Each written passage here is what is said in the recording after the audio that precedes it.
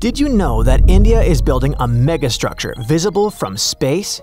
It's happening in Andhra Pradesh, a region home to 50 million people and some of the worst climates on Earth. When it rains here, it pours enough to cause massive floods. When it dries, it turns fertile ground into a wasteland. This ambitious construction is supposed to solve the issue once and for all. However, if this multi-billion dollar project backfires, the consequences could be devastating. Let's see why. The second longest river in India is called the Godavari. During the monsoon season, this river acts like a fire hose that nobody can turn off. We aren't talking about a drizzly afternoon. From June to September, the sky practically unzips.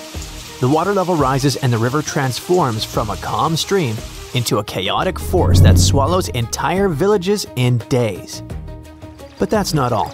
A huge amount of that fresh water goes completely to waste, it rushes past the villages and dumps straight into the Bay of Bengal. Once it hits the salty ocean, it's useless for drinking or farming. We're talking about billions of gallons of much needed water disappearing into the sea every single year. Now, on the other hand, we have the Krishna River Basin, just a few hundred miles away. There, it's literally the opposite issue. Farmers are staring at dry cracks in the ground. They're praying for rain that never comes and Krishna does not get strong monsoon support, and most of its water is already used up before it even reaches this region. By the time it arrives, it's more like a tired stream than a healthy river. That's why the authorities looked at the map and came up with a solution. Basically, take the excess water from the angry river and push it over to the dry river. This brings us to the Polavaram. The engineers are building a structure that's a giant machine, not just a wall. It's built to connect these two massive water systems, like running a giant pipe from the side that has too much to the side that has almost nothing. The project combines a massive earth and rock dam with a hydropower plant and a network of canals. However, the most impressive part of this layout is the spillway. It's a giant complex of concrete, channels, and support systems. It looks less like a dam and more like a fortress built for titans. It's a gigantic safety valve for the Earth. It stretches for close to a mile across, wider than 10 football fields placed side by side, and rises several dozen feet above the riverbed. It's fitted with dozens of huge steel gates, each one weighing hundreds of tons, and built to hold back walls of water until the system decides to let them go. The spillway is incredibly powerful. It has a discharge of around 5 million cusecs, in simple terms, it can blast out millions of cubic feet of water every single second.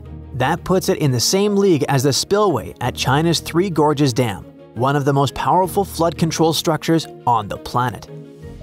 Engineers designed it to handle what they call a thousand-year flood. And no, that doesn't mean you need to mark your calendar for the year 3026. It just means there's a 0.1% chance that a flood this massive will hit the valley in any given year.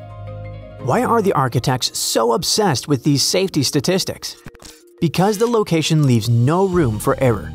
The Godavari Delta downstream is home to millions of people.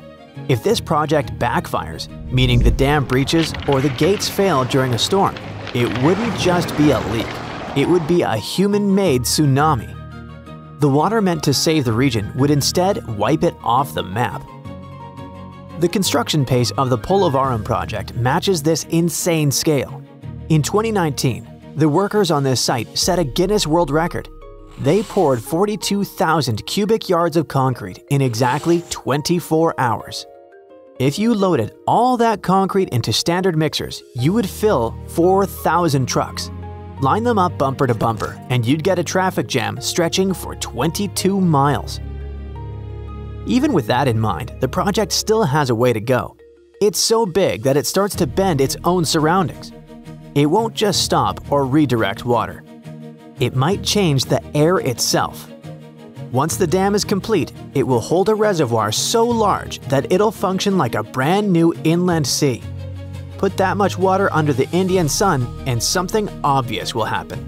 It'll lift into the air Day after day, the surface will turn into a giant steam engine sending moisture upward. Scientists call this a microclimate, but we call it accidental weather control. By creating a massive body of water, you change the local humidity and temperature. You're essentially installing a giant humidifier in a region that used to be dry. This is the part that makes experts nervous. What if they accidentally create a new climate problem while trying to solve the current one? Once you block a river and create a lake this big, you start messing with the heat and moisture in the air above. The system meant to control water on the ground ends up influencing the weather overhead too. Then there is the issue of moving the water. Picture the state as two giant tanks. One is overflowing and about to burst. The other is dry. The engineers are trying to connect them with a massive pipe to balance the levels before either one becomes a disaster. How are they doing this? To pull this off, they're carving out the earth, digging two massive canals, each stretching more than 100 miles. These aren't simple ditches, they're artificial rivers carved to ignore the natural layout of the land and go where engineers tell them to go. In 2022, monsoon floods slammed into the site mid-build. Water forced its way past temporary barriers and damaged critical leak control work. The crew had to stop, assess the damage, and start restoring the damaged sections. And the risks aren't just about concrete breaking. The real cost of this project is human. To build the City of Water, you have to remove the real cities of people. When the reservoir fills, it will submerge nearly 250 square miles of land. That much water does not make room for anyone. Close to 200,000 people would have to be relocated, Old forests, tribal lands, and villages that stood for generations will disappear beneath the surface. This is the price of the project. So, with all this concrete and chaos, when does the ribbon get cut? Here's the twist. This project has been ongoing since the 1940s, back when the British were still in charge. The foundation stone appeared in 1980. Real work waited until 2004 it's a rare piece of infrastructure that has outlived conflicts and economic crashes, yet it's still under construction. Major parts of the main dam are incomplete. The reservoir cannot be filled to its full height. And key power systems have not been installed. Several resettlement zones also remain unfinished, which means the final stage of the project is still years away. Aside from the ambition and the scale, Money is also the reason it takes so long. Early plans estimated about $1.5 billion. Today, the cost has passed 6.5 billion and keeps climbing. But is it worth the price? Depends on who you ask. For the farmers watching their fields dry out, the answer is yes. For the families watching their homes get swallowed by the reservoir, the answer is no. The latest deadline for completion is by the end of this decade, so there are no more excuses. The Polavaram project is a testament to human ambition. It's humans looking at Mother Nature and saying, I think you put that river in the wrong place. Let me fix that for you. Will it work? And how well? We'll find out soon. Until then, the Godavari will keep flowing and overflowing while the Krishna will keep shrinking, looking like an abandoned movie set. That's it for today. So hey, if you pacified your curiosity, then give the video a like and share it with your friends. Or if you want more, just click on these videos and stay on the bright side.